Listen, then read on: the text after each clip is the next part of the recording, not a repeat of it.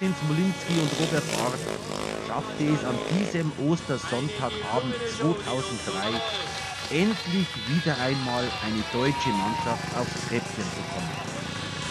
Wenn auch nur als Dritter. Doch die Freude bei den Zuschauern und auch bei den Fahrern war riesengroß.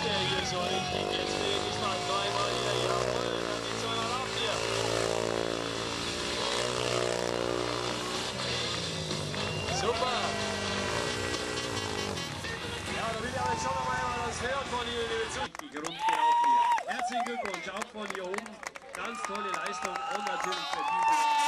Die Deutschen freuten sich riesig über ihren dritten Platz und die erkämpften 48 Punkte.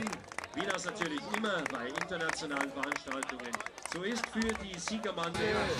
Vierter wurden mit 41 Punkten die Tschechen, vor den Italienern mit 25 Punkten. Sechster mit 22 Punkten waren die Österreicher. Und während sich schon etliche Fahrer auf der Heimfahrt befanden, da schrieb der Martin immer noch Autogramme im Stadion. Sprachiger Fahrer ins WM-Finale nach Schweden zu kommen. Das brachte ihm viel Sympathien bei den Zuschauern ein, sodass auch die polnischen Speedway-Fans von ihm Autogramme haben wollten. Danke.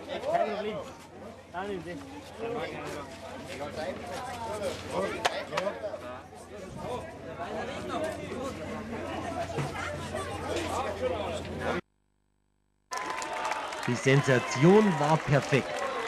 Nach über zehn Jahren gewann wieder ein Deutscher bei einem WM-Lauf.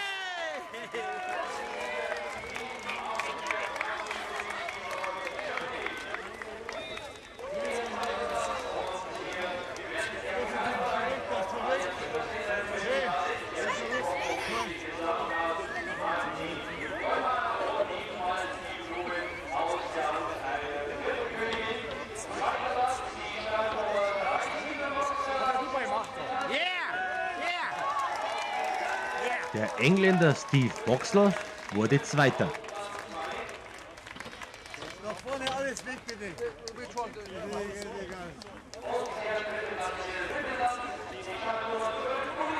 Tobi Kroner wurde trotz einer Disqualifikation noch Dritter und war mit Martin Smolinski für das Semifinale in Wiener Neustadt qualifiziert. Leider schieden Hans-Jörg Müller und Reni Schäfer aus.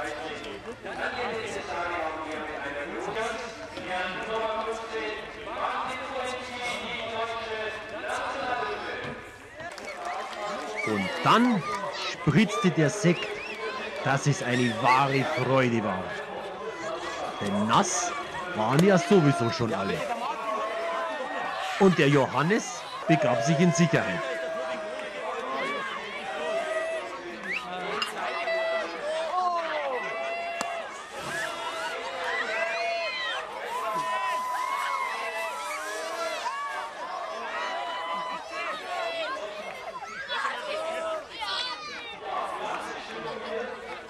Westi!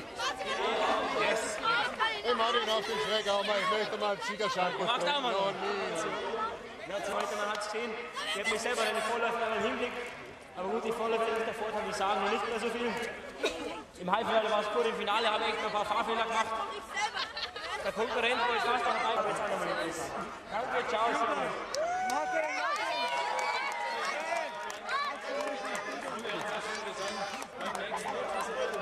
Mit dabei in Olping am 10. Juni. Als die anderen Fahrer schon längst im Fahrerlager ihre Sachen für die Heimreise packten, blieb der besonders bei der Jugend beliebte Smolinski in der Menge und gab Autogramme. Das ist die beste Werbung für diesen Sport. Denn das sind die Zuschauer von morgen.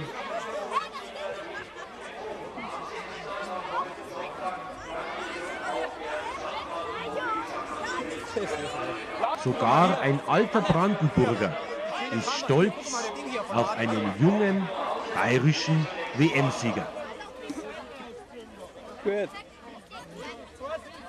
Der Martin wäre für so manche Firma die mit ihren Produkten die Jugend ansprechen will, ein hervorragender Werbeträger. Die Bilder sprechen für sich.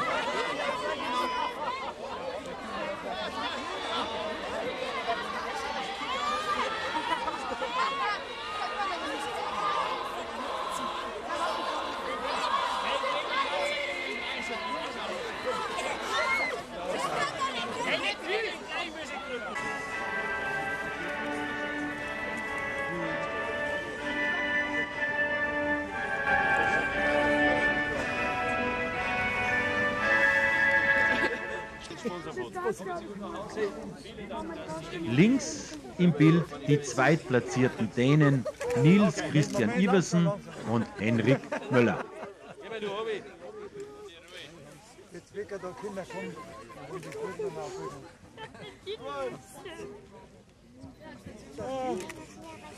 Okay.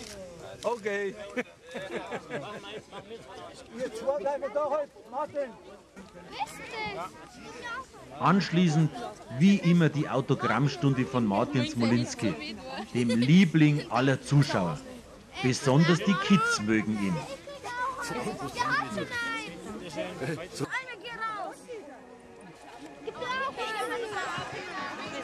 Dicht umringt von seinen Fans. Und er hat immer Autogramme und Poster mit dabei. Sogar seine Kaffee musste er beschriften.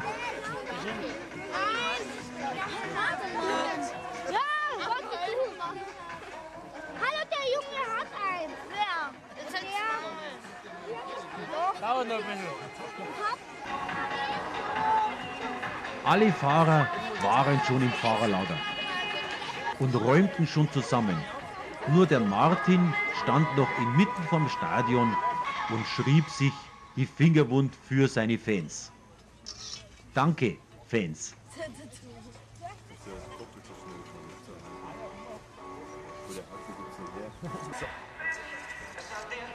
Und auch das Fernsehen musste lange warten, um ein Interview von dem Superstar zu bekommen. Ja, auf jeden Fall. Ich denke, es war eine gute Veranstaltung. Es waren auch viele junge Leute, haben auch viele ältere Kinder. Und ich sage mal, der Nachwuchs, der kommt, sag ich mal, auch von den Fans her. Und man muss viel tun für die Zuschauer, sag ich mal. Das unterstützt eigentlich noch nie. Und ich muss sagen, ich bin selber sehr zufrieden, aber es war nicht.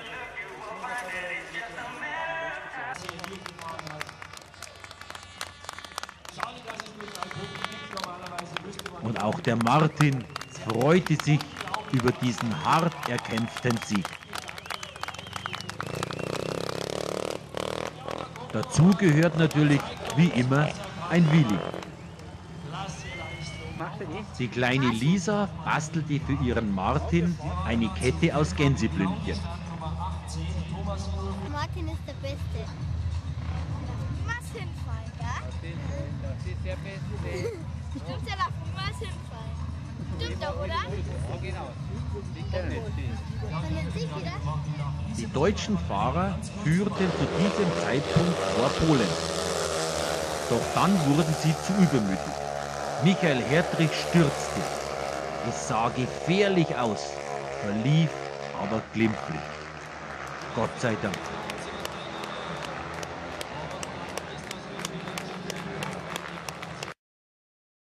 bekam der Martin von seiner kleinen Verehrerin, der Lisa, eine selbstgemachte Blumenkette überreicht. Dankeschön.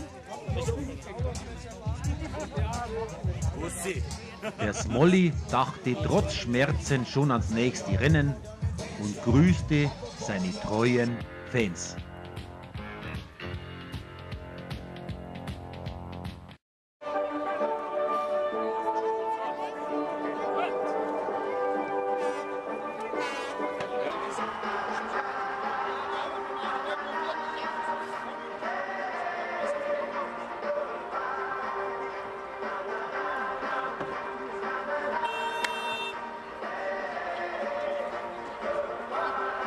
Mit so einem Riesentransparent wurde noch nie ein deutscher Meister in Olching geehrt.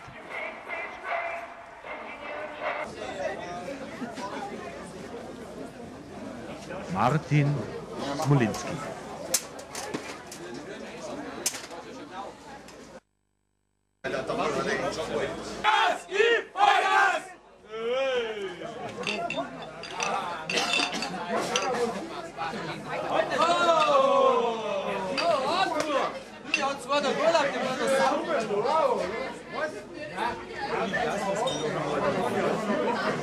Nach dem Rennen obligatorisch Autogrammstunde mit Martin Smolinski.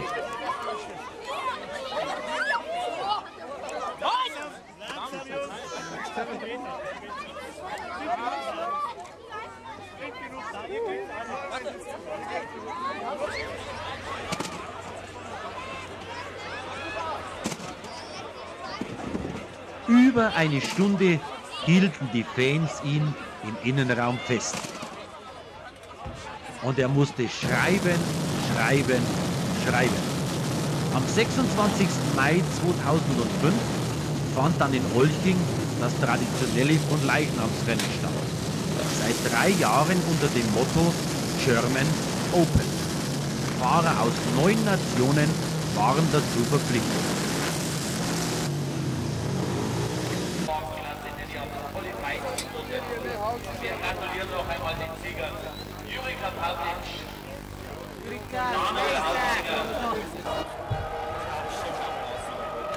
Ein schöner Renntag ging zu Ende.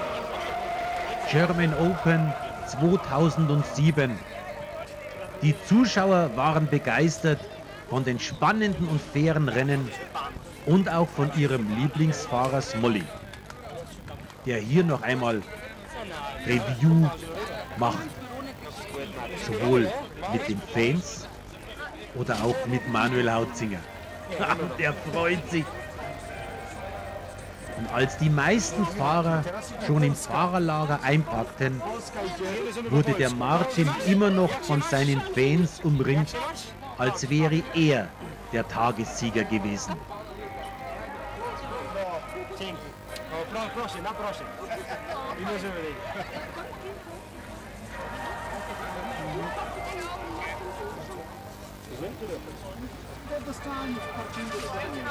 Er war immerhin bester Olchinger. Ja, Erfolge haben Namen. Einer davon ist Martin Smolinski.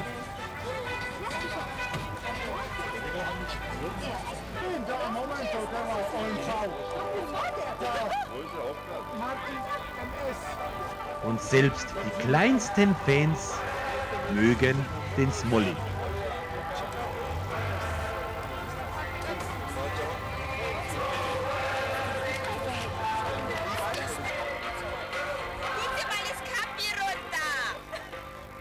Ein Foto mit seiner Rennmaschine.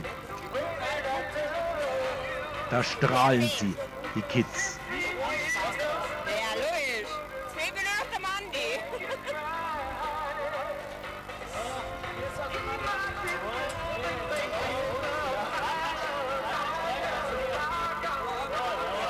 Sowas gibt es nur in Olching in der Maxelreiner Arena.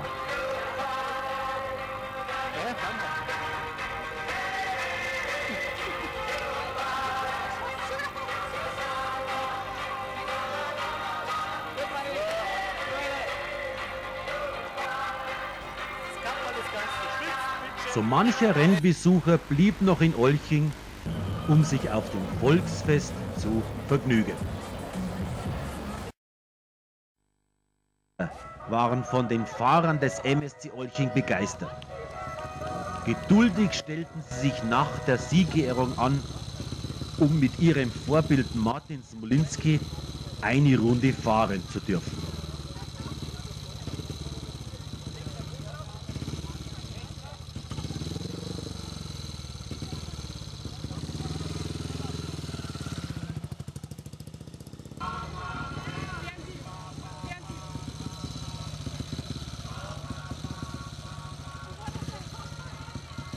Runde um Runde drehte der Martin mit seinen jugendlichen Fans.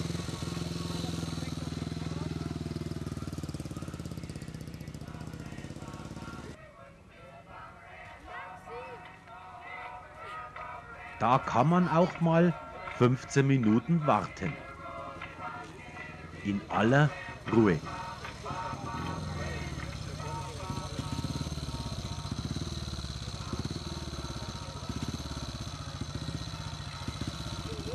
Nächste bitte.